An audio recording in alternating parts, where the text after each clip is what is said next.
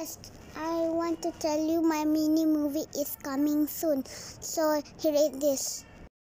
Look, cool. If you want a more mini movie, please like and subscribe. Thank you. Bye.